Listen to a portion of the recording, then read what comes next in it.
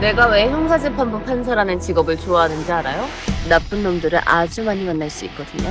정의가 살아있다면 법이 절 지켜줄 거라 믿습니다. 정의는? 죽었다.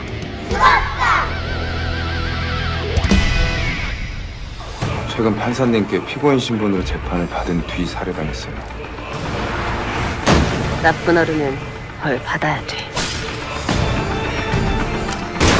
멈춰! 움직이면 쏜다. 혹시 범죄와 관련된 일을 하고 있는 겁니까? 진실이 뭐가 중요해요? 나쁜 사람이 사라졌다는 게 중요하지. 그러지 말고 나한테만 솔직하게 말해봐요. 그래야 내가 올바른 판결을 내릴 수 있지 않겠어요? 법대로 한 게 그거예요.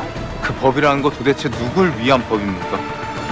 판사님의 판결은 2차 가해입니다. 항소심 따위는 필요 없어. 내 재판은 언제나 정확하니까.